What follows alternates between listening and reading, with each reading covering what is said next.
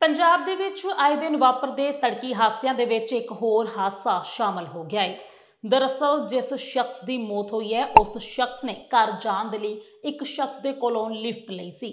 ਇਸ ਘਟਨਾ ਦੇ ਵਿੱਚ ਜਿੱਥੇ ਇੱਕ ਨੌਜਵਾਨ ਦੀ ਮੌਤ ਹੋਈ ਹੈ, ਉੱਥੇ ਹੀ ਦੂਸਰਾ ਗੰਭੀਰ ਜ਼ਖਮੀ ਹੋ ਗਿਆ ਹੈ ਜਿਸ ਨੂੰ ਇਲਾਜ ਦੇ ਲਈ ਪੀਜੀਆਈ ਰੈਫਰ ਕਰ ਦਿੱਤਾ ਗਿਆ ਹੈ ਜਿੱਥੇ ਉਸ ਦੀ ਹਾਲਤ ਜੋ ਹੈ, ਉਹ ਗੰਭੀਰ ਦੱਸੀ ਜਾ ਰਹੀ ਹੈ, ਜੋ ਜੇਰੇ ਇਲਾਜ ਹੈ। ਦਰਅਸਲ ਮਿਲੀ ਜਾਣਕਾਰੀ ਦੇ ਮੁਤਾਬਕ ਦੇਰ ਰਾਤ ਹਿਮਾਚਲ ਨੰਬਰ ਦੀ ਕਾਰ ਸ਼੍ਰੀ ਅਨੰਦਪੁਰ ਸਾਹਿਬ ਤੋਂ ਨੰਗਲ ਜਾ ਰਹੀ ਸੀ। ਇਸ ਐਕਟਿਵਾ ਦੇ ਉੱਤੇ ਦੋ ਨੌਜਵਾਨ ਸਵਾਰ ਸਨ।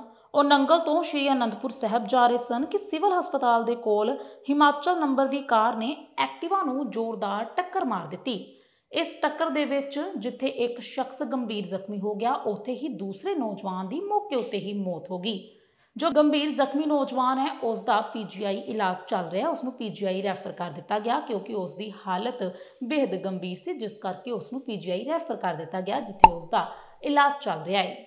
ਜੋ ਨੌਜਵਾਨ ਹੁਣ ਇਸ ਦੁਨੀਆ ਦੇ ਵਿੱਚ ਨਹੀਂ ਰਿਹਾ, ਉਸ ਨੌਜਵਾਨ ਨੇ ਘਰ ਜਾਣ ਦੇ ਲਈ ਲਿਫਟ ਲਈ ਸੀ ਅਤੇ ਪਰ ਜੋ ਰੱਬ ਸੀ ਉਸ ਨੂੰ ਕੁਝ ਹੋਰ ਹੀ ਮਨਜ਼ੂਰ ਸੀ। ਨੌਜਵਾਨ ਨੂੰ ਲਿਫਟ ਲੈਣਾ ਇੱਕ ਹਿਸਾਬ ਦੇ ਨਾਲ ਮਹਿੰਗਾ ਪੈ ਗਿਆ ਅਤੇ ਉਸ ਦੀ ਸੜਕ ਹਾਦਸੇ ਦੇ ਵਿੱਚ ਜਾਨ ਚਲੀ ਗਈ।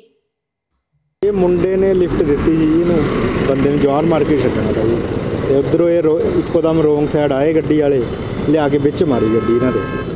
ਤੇ ਸੁਣਨੇ ਚ ਆਇਆ ਕਹਿੰਦੇ ਇਹਨਾਂ ਨੇ ਡਰਿੰਕ ਵੀ ਕੀਤੀ ਸੀ ਰਾਤੀ। ਹਾਂਜੀ। ਹਾਲਾਤ ਇੱਦਾਂ ਜੀ ਇੱਕ ਤਾਂ ਜਵਾਰ ਮਾਰਕੀਟ ਵਾਲਾ ਮੁੰਡਾ ਦਾ ਔਨ ਦਾ ਸਪੋਰਟ ਡੈਥ ਹੋ ਗਈ ਜੀ ਉਹਦੀ।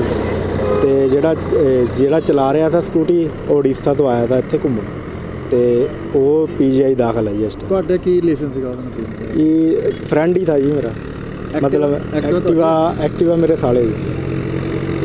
ਪੁਲਿਸ ਨੇ ਕਾਰਵਾਈ ਸ਼ੁਰੂ ਕਰਤੀ? ਹਾਂਜੀ ਕੀਤੀ ਵੀ ਹੈ ਜੀ ਕਾਰਵਾਈ। ਉੱਥੇ ਹੈਗੇ ਬੁਲਾਇਆ ਥਾ ਉਹਨਾਂ ਨੇ।